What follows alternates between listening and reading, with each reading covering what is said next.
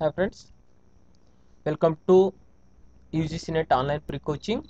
This is the fourth lecture in lecture series December 2005.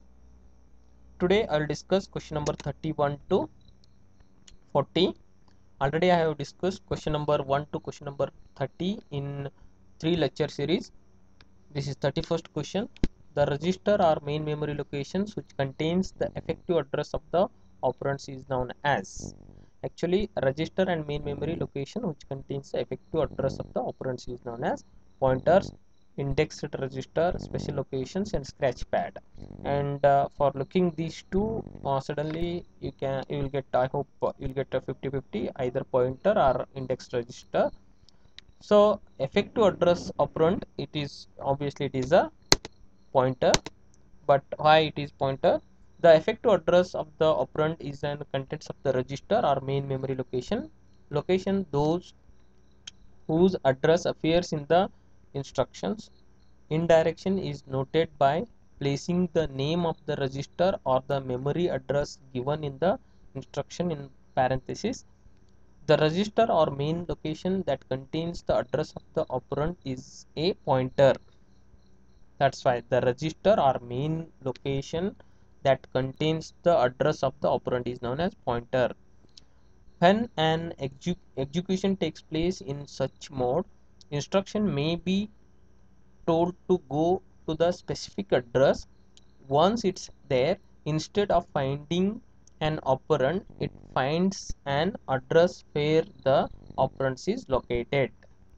That's why the register and main memory location which contains effective address of the operand is known as pointer.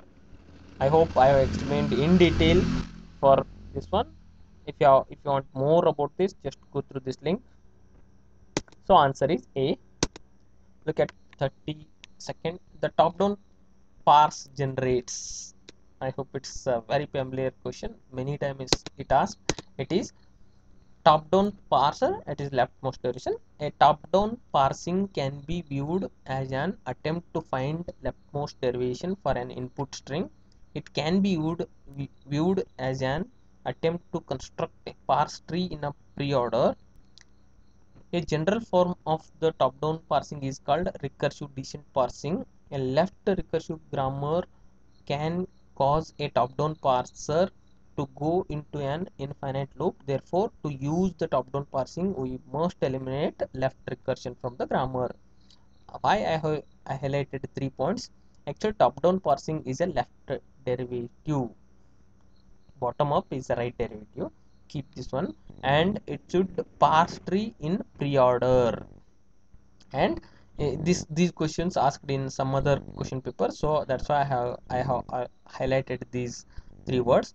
General form of the top down parsing is called recursive descent parsing. That is also very important. So keep these points so answer is a. Look at next question the general macro processor is an built-in function of it is a very straightforward question that is assembler. No need of explanation i hope because it is the part of assembler. So no uh, if you want just uh, read Do, uh, John Donovan book okay? Next we'll move to the next one. Which of the following is not a collision resolution technique? Same question asked in question number 32 December 2004 which of the following is not a collision resolution technique? Already I have explained in detail what is collision resolution technique um, uh, what are the techniques for collision resolution and others. I have explained in detail in uh, uh, third part of uh, lecture series December 2004 who are newcomers? Who are already subscribed my channel? They know what is exactly this for this question answer. For newcomers just to go through my previous lecture series question number part third in December 2004 so in that I have explained in detail just go through it. Uh, for which of the following is not collision resolution technique is indexing hash addressing and chaining are the collision resolution techniques. Okay next one is which activity is not included in the first pass of two, two pass assembler? This question is asked in question number uh, 31 december 2004 question number 33 in uh, june 2005 question number 35 in uh, december 2005 so it's a very important question. Already i have explained in detail these two. Just go through it. So answer is b. Producer consumer problem can be solved using actually there are three types of problems. One is um, producer consumer problem dining philosopher problem and uh, reader writer problems. These three problems in operating system we can solve using semaphores and monitors. You know familiar you know what is semaphore and monitor. Anyhow once look at one thing in operating system must provide for the means of process synchronization. Some of the synchronization technique include mutual exclusion semaphores and monitor these two these are the techniques used for synchronization. Actually producer consumer problem can be solved using any of the these technique so answer is all of these. Answer number is d. Okay? So producer consumer problem and dining philosopher problem and reader writer problems. These problems can be solved using semaphores or monitors or mutual exclusion event counter. I hope you understood this one. It's a very familiar problems in operating system. Just go through it in detail for these problems. Okay if you have anything just mail me. Okay so look at next question. If you want to execute more than one program at a time the system software that are used must be capable of. If you want to execute more than one problem one program at a time. The system software that are used must be in question only. There is answer. Just read carefully like these questions.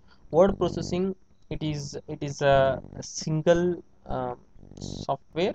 It is used for single user. No need of uh, multi. Virtual memory it is unrelated to the question. Compiling and multitasking you may get a confusion but uh, compiling also it is not used because multitasking uh, here if you want to execute more than one program at a time more than one program at a time uh, for this word only you can understand easily this is a multitasking means what time sharing. So answer is time sharing or multitasking is a logical extension of multi-programming in time sharing system. The cpu executes multiple jobs by switching among them but the switches occurs occur so frequently that the users can interact with each program while it is running. So uh, multitasking or time sharing is used to uh, run more than one program at a time. So answer is b uh, i hope there is no confusion it's a very straightforward question. You can answer this type questions. If you in question only there is answer please um, while answering these type of question be careful. Uh, at least use some common sense. So which of the following checks cannot be carried out on the input data to a system? Actually uh, which of the following checks cannot be carried out on the input data to the system. Consistency check syntax check and range check. Actually uh, which is not carried out input data. Input data uh, in con consistency check and uh, syntax check. Actually syntax check it is carried out after inputting. But the question is while inputting. So obviously it is not syntax check. Means what? Definitely it is not all of these so which is cannot be carried out. Definitely it is a syntax check. Okay? So there is no need of additional explanation for this question. This one non-modifiable procedure are called. This one same question asked in question number 39 december 2004 in third lecture series of uh, december 2004 i have explained in detail what is non-modifiable procedure. So just go through it uh, if you have still any query just mail me. Okay? Uh, look at law so answer is return re-entrant procedure. This is non-modifiable procedure. Answer is c. Uh, same question I have explained in uh, December 2004 question number 39 eh, fourth lecture series. Just to go through it. Okay?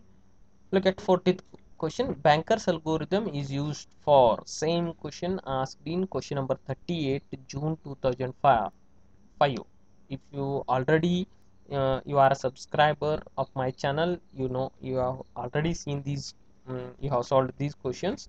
I have explained in details in uh, June 2005 uh, lecture number 4 part 4 so again same question. Uh, look at that in this question paper there are so many questions repeated either in 2004 and 2005 so be careful. Same same type or same questions arrive in uh, next questions while answering these type of question. So after studying in uh, complete all the subjects just go through all the questions uh, try to solve. Okay? This is 40th question. Banker's algorithm is used used for dash purpose that is definitely deadlock avoidance.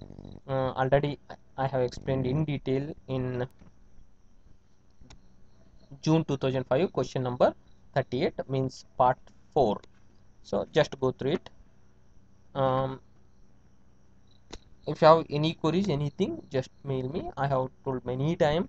If you have any problem just you need to clear. All my viewers need to clear december 2015 exam.